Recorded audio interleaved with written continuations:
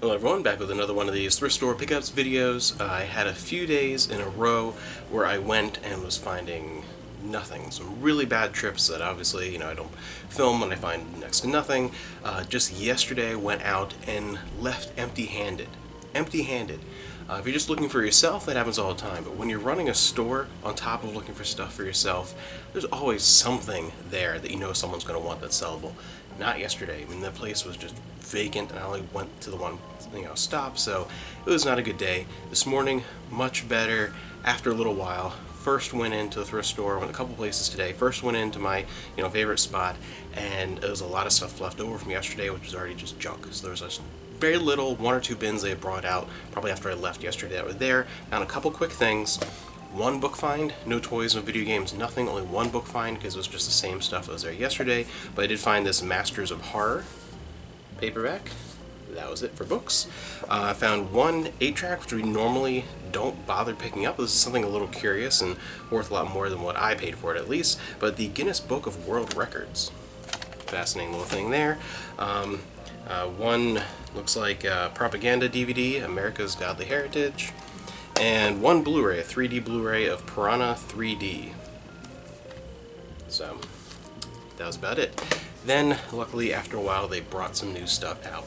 So that was good, and I found a few things the other place I went, so made out much better. I was a little worried when I went out at first.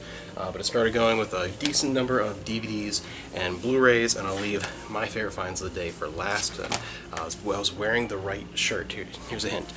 I was wearing the right shirt today. Uh, good luck. First thing that I found was a couple of movie collections. This is one of the newer Rocky 6 film collections. It has you know Rocky 1 through 5 and Rocky Balboa in a very you know slim case. Definitely one of those kind of like space saver sets. They're all on their own disc. Thankfully, it's one good thing. One bad thing is Rocky 3 4 and 5 are all on flipper discs, which I hate because it's so much you know easier to scratch and things. But it, you know Balboa and Rocky 1 and 2 are on just normal you know single side discs. But overall, as considering it's all six Rocky movies on one very thin collection, that's a pretty cool find. Uh, this one, this will be, for us, will replace copies that we have. This is the Planet of the Apes trilogy, the new Planet of the Apes movies. And we have all three of these individually. So I'm going to, you know, replace, I'm to sell our individual copies and replace it with this, to, you know, because they're still on the same three individual discs. So you might as well have one spot on the shelf rather than three for the same thing. Uh, this is a family multi-feature Looney Tunes Superstars 45 classic cartoons. So it looks like we have some Foghorn Leghorn and Bugs Bunny and Roadrunner and Wile E. Coyote. So I'm going to have to look at this and see what exactly is on here because I found a couple of these before, ones that I've put up on the store and things like that, where they kind of trick you a little bit, where the picture on the back will be from, you know, a classic cartoon.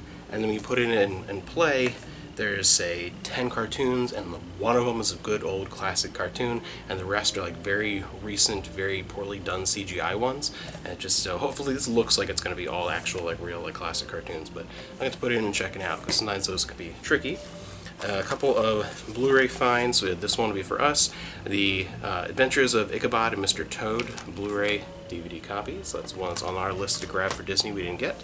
Uh, one I was very excited, and a little disappointed when I found it, but I still grabbed it because it was bargain rooms. It was worth, you know, like it was maybe paid 50 cents. But it is Cosmos uh, Space-Time Odyssey. This is the newer one, not the original. This is the one with Neil deGrasse Tyson on Blu-ray. Complete series. Great, except missing one of the discs, disc one. But I figure for like 50 cents, it has discs two, three, and four. For a couple of bucks, I should be able to find disc one. A lot of people sell, you know, just replacement discs and things like that. So pay, you know, four or five bucks to get uh, disc one and then have the whole thing. So that'll be good. Uh, hesitate to say good, but enjoyable for me. Uh, 80s horror movie, kind of horror, it's never really scary, but based off the book by Stephen King, starring a very young Drew Barrymore. Not long after E.T., we have Firestarter. So, interesting movie I have not seen in many years since VHS, so that's really cool. And this is my second favorite find of the day because it completes a set for us, so it's going to be another one of those collection videos coming eventually. I still have a few more I haven't done, it, I just have not kept up with those as we finish out a lot of things, but we had our complete collection of Angel. We finished Angel, and we were one set shy of finishing Buffy. Well, now we finished Buffy, season five of Buffy the Vampire Slayer. Great, great show. Uh, still one I enjoy to this day. I think Amanda said the other day we were talking about. It, I think she over time has come to prefer Angel overall. Um, I prefer Buffy. I think um, you know we'll talk about it and whatever. But I think that she's probably going to say that she prefers first couple seasons when they're in high school Buffy, then Angel, then the rest of Buffy. That's how I'm thinking she's gonna say. Um, you know, over the years how that's changed. For me, I just really like Buffy. I like Angel. Uh, and has some great storylines over the years, but I will always be a bigger Buffy fan. Now for the coolest finds of the day. These were great. Um, these were at the second place I went to, which I where I found all those super expensive PS1 games, which we finally sold the last one of those a couple weeks ago. And again, that's a place that's normally not worth your time, normally just a total wreck. But because that one time, one time out of like 50 that I've been there, where I made a ton of money, found great stuff, I still check back all the time now, uh, just in case.